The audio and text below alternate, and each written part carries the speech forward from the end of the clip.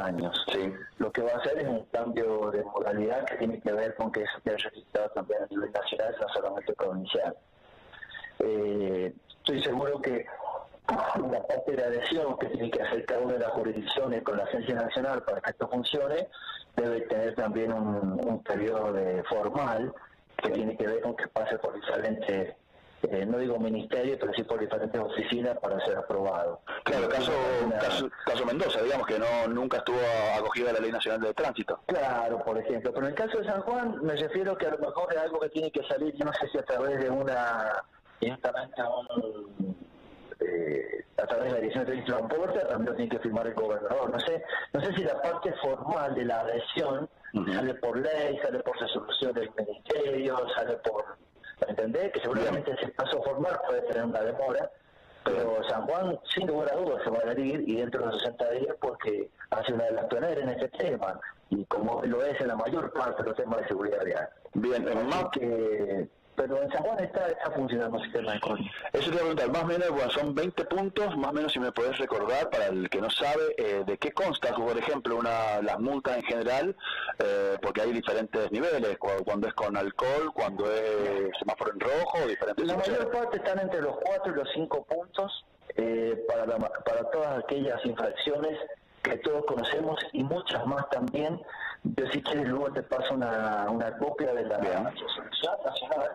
Que lo que pasa es que se han publicado un listadito de 10 o 20, pero son muchísimas más, todo, todo tipo de infracción que vos puedas cometer, incluso como peatón, también puede estar afectándote y en el caso de los conductores te va a afectar a través del score y reducirlo hasta 4 o 5 puntos. Bien. Lo que sí hay algo que muchos no hablan, que es el tema de la recuperación de los puntos. Sí. Hay dos maneras de recuperar. A través de cursos de seguridad vial, que va a dictar la Escuela de Seguridad Vial de, de Pilar, por ejemplo, Sí. y a través también del transcurso del paso del tiempo sin que cometas infracciones. Si después de la última infracción, pues tuviste dos años sin cometer infracciones, Sí. eh, es muy probable que eso te haga directamente recuperar los puntos perdidos. Bien. Bien, se puede que sal- partiste con 20, llegaste a 12 y después tuviste dos años sin cometer infracciones sancionadas y, y, bueno, recuperar los 20 puntos que tenías anteriormente. Perfecto, o sea, sin hacer el curso directamente, digamos. Sin hacer el curso. Pero Igual ustedes estaban haciendo cursos al día de hoy en general, lo que único que cambiaría es que ahora serían tipificados por el Estado. En realidad, eh, en realidad cambian otras cosas porque hay un contenido establecido por la Agencia Nacional que deben tener esos cursos para que te permitan recuperar los puntos. Bien, bien. ¿Me o sea, entendés? Es decir, hay un contenido que tiene que ver también con la parte cultural, la parte de la ética y la conducción, Ujú. y todo ese tipo de cosas.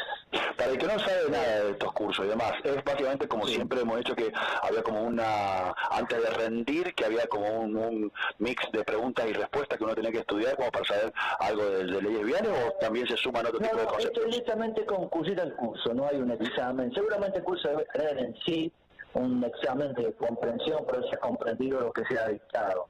Sí. Pero no es que tienes que rendir para recién luego le revocan los puntos. Perfecto, entonces, Pero tampoco, tampoco está muy claro, porque yo llamé a la nacional los otros días y me dijeron que en el transcurso de esta semana y la semana que viene nos iban a pasar justamente eso, un poco los temas básicos del curso, cómo va a funcionar en el caso de la licencia de conducir, en, en qué base de datos nosotros tenemos que fijarlo antes de emitir la licencia y todas esas cosas. o sea, avanzado, pero hay un periodo de, de información y de Claro, adaptación, ¿no? claro, y aparte de adaptarse a lo que ustedes ya hacen, pero me imagino que pondrán algún otro tipo de cláusula para que cumplimente todo lo que dice Nación. Totalmente, totalmente.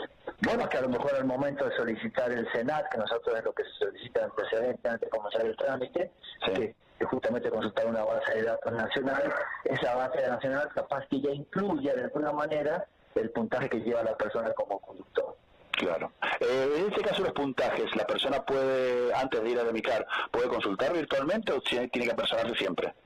Es una excelente pregunta. Puede ser, a lo mejor hay una alguna página de la Agencia Nacional o algún documento para consultar su, su nivel de puntaje. Quizá.